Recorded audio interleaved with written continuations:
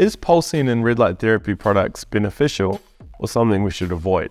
Let's find out. What exactly is pulsing? Pulsing is defined as fleeting peaks of light when emitted from a red light therapy device. So at different intervals of time, there is either light emitted or light not. Continuous exposure, on the other hand, is the opposite. That simply has light shining at all times. Think of that strobing effect you see in nightclubs.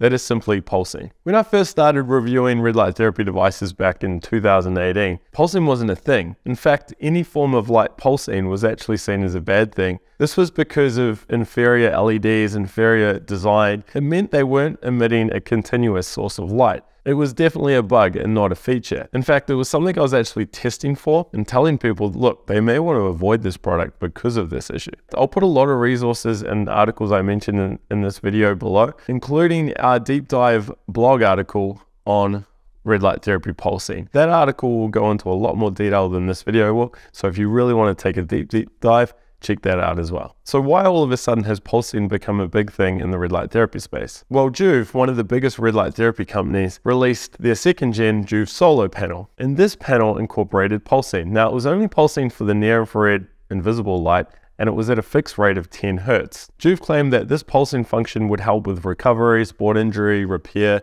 and that's how they marketed it. But competitors to Joovv came out saying, look, it's totally a marketing play.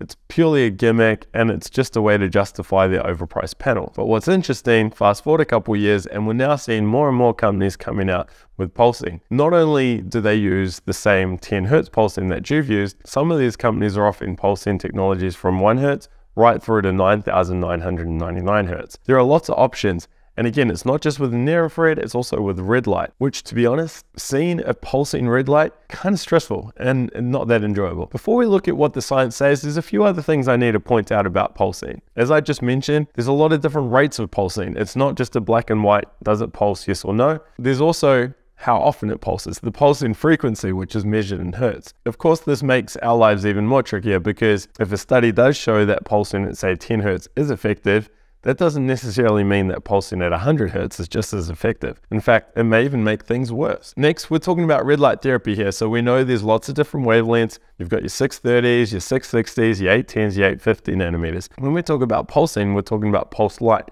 not pulse light at a particular wavelength. So again, we may find that pulsing at this hertz, at this wavelength is beneficial, but that doesn't mean that the same pulsing rate at a different wavelength is beneficial. Another thing to note is that pulsing is going to mean you're receiving less energy, less joules of light on the body. Think about it. Pulsing is literally the flickering, the on and the off of a light. So if you have two identical panels, one with pulsing enabled, the other without, and you stand in front of each of them for 10 minutes at a time, the panel that's not pulsing is going to emit more light more energy. So if you are using a panel with pulsing, you've got to factor that into your dosing calculations as well. Because remember, for some portion of time, that light is actually turned off. Finally, a lot of the studies on pulsing are using medical grade higher radiance lasers. Now, at the end of the day, light is light, but it is important to keep this in consideration. Often these lasers are applied directly on the body and are putting out a particular wavelength. The point I'm trying to make with all of this is there are a lot of variables, and also as we're about to find out, a lot of unknowns when it comes to pulsing. Hey look, I typically spend a lot of time and money reviewing red light therapy products, but if you're enjoying these educational videos, I really appreciate if you can give me a like. It'll show me that the time and energy I spend researching these topics is worthwhile. And of course, if you want to see more videos like this, be sure to hit the subscribe button as well. Okay, so now that we've got a foundational knowledge of pulsing, what exactly does the science say? So after taking a rather deep dive, yes, it is clear that there are some benefits to pulse red light. And there are also some mechanisms where pulsed red light can impact the body. So let's go through some of these points. First up, pulsing does allow you to use higher irradiances, higher power outputs. In turn, this allows the light to reach deeper into the body. The idea here is that the pulse light allows the body tissue to remain cooler. Effectively, you're giving it a chance to cool down between each pulse. So if you were wanting that light to penetrate deeper into the tissue, pulsing could be beneficial. You could stand closer to a panel enable the pulsing function and know that you're, there's less risk of overheating the tissue. But it's important to note that the studies that looked at this are using extremely high irradiance figures. We're talking are 2 watts over centimeter squared, which is 10 to 20 times more powerful than the panels we have on the market today. So one could argue that pulsing is not really needed given that the power intensities are so much lower. And if you're aware of your dosing, you can still get a deep penetration without doing thermal damage to the tissue. Next up, we see that many studies do in fact show that pulse light does create a different outcome on the body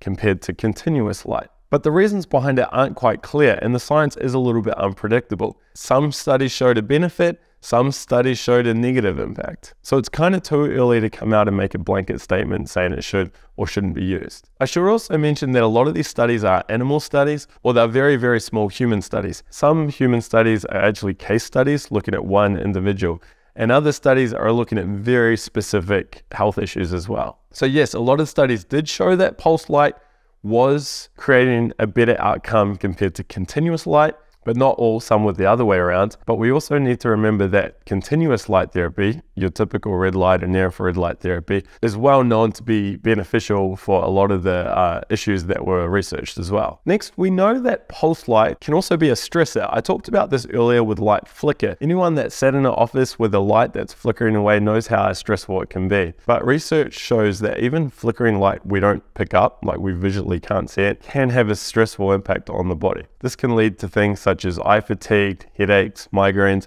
or even seizures. What about entrainment? Researchers have also written that pulsing light frequencies may align with the frequencies used in human biology, although this mechanism is somewhat speculative. Brain waves, for instance, occur at different frequencies. You have your alpha state between 4 and 13 Hz, your beta state between 14 and 40 Hz, and your delta state between 1 and 3 Hz. By matching the Hertz frequencies of a red light therapy device with the brain waves, Theoretically, there could be a biological effect. More research is needed though in regards to red light therapy. For instance, delta waves are produced when we're in a deep sleep state. The thought goes that pulsing light at this frequency may help keep one in a deep sleep state for longer or even induce them into a deeper sleep state. But again, more research is needed, and we're moving away slightly from red light therapy here because researchers are also using auditory signals to help entrain brainwave states is not necessarily something that's unique or specific to red light or near infrared light pulsed light. What about brain health?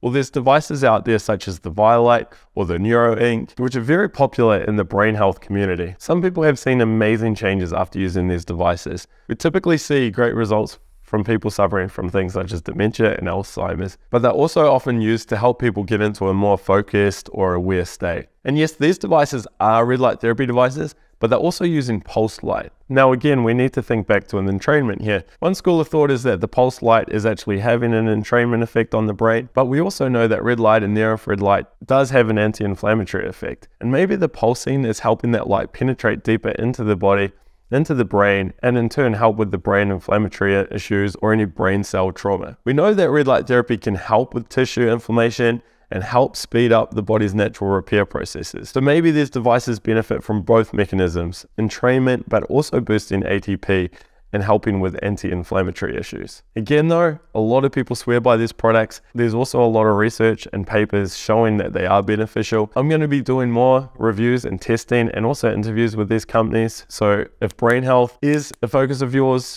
again, be sure to subscribe. Overall though, given the lack of things we don't know, I think it's too hard to come out and say that, yes, pulsing is an absolute game changer and everyone must use it. Yes, there are research papers out there showing that it does help and it does help faster and better than continuous light therapy, but there's so many things we don't know. And even if it was clear cut that it was helping, say, 10 or 20 or 30% better, I don't even know what the recommended protocol would be because these studies are so sparse and so unique that it's hard to then carry that over to how you should use a panel and what pulsing setting you should use on that panel. Really, it's important to remember that you're going to get a benefit from continuous light.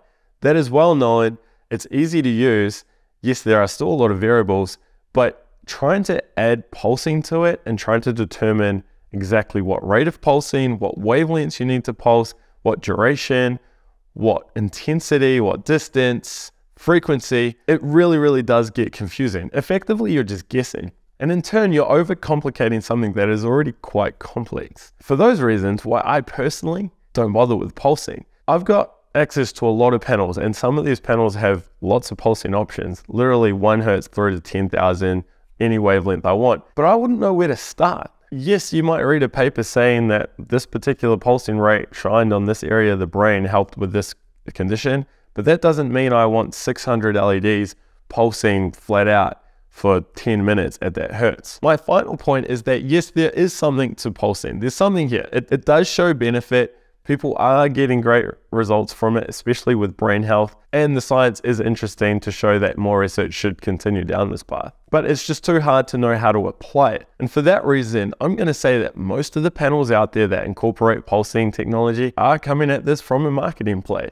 It's another feature on the product's website it's another standout. It's another differentiating factor when compared to some of the bigger companies that don't use pulsing. But again, it's not necessarily a bad thing. It just makes matters more complex. If you are someone who does want to geek out on the science and maybe has a particular health issue and has found that there is research showing pulse light at that research can help, then by all means, grab a panel that's got pulsing, use it. I'd love to hear how you go. The most important thing to remember though is all of these panels that offer pulsing have the option to disable it. So if you really like a panel and it has pulsing in it, don't see that as a negative. You don't have to use it. I also need to point out that I have been experimenting with brain health pulsing. These are some helmets I'm testing, the Vielight I mentioned earlier. This is one area where you may want a device that does incorporate pulsing. Okay, so if you've watched all of this and you're thinking, all right, there's enough out there that I want to give it a go. Where should I start? What panel should I go for? Well, check out this video. In this video, I review the Infraredi Flex. Now, this panel has built-in pulsing modes, and it also puts out a ton of power across a bunch of wavelengths. I think you'll be quite impressed with that panel, and if pulsing is something you want to incorporate into your red light therapy routine, definitely check that video out.